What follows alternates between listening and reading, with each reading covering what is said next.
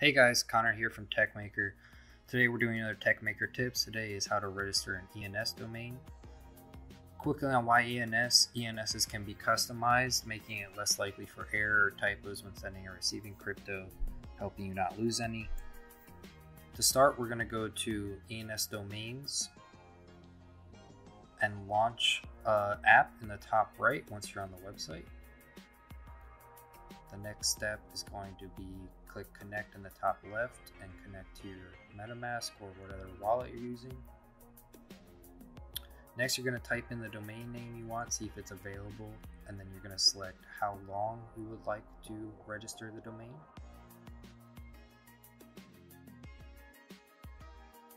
I chose two years on mine. In the bottom right, you're going to hit register, and it'll take a few moments to process this, but once it's done, it'll prompt you one more time to complete the transaction and you complete one Ethereum gas fee. There's going to be a few Ethereum transactions to register the ENS domain. Mine was about $20 worth of Ethereum today, about 0.01 to register.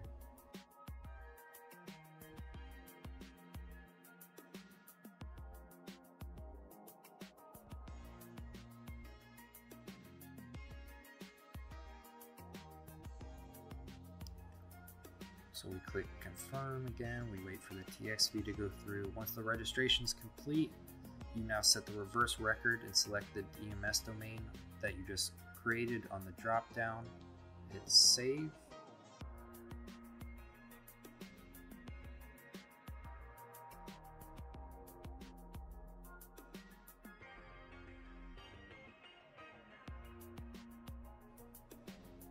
Now this is complete, you can click on the .eth address and it will show you your Ethereum address is now registered to the ENS domain and you can now send when receive uh,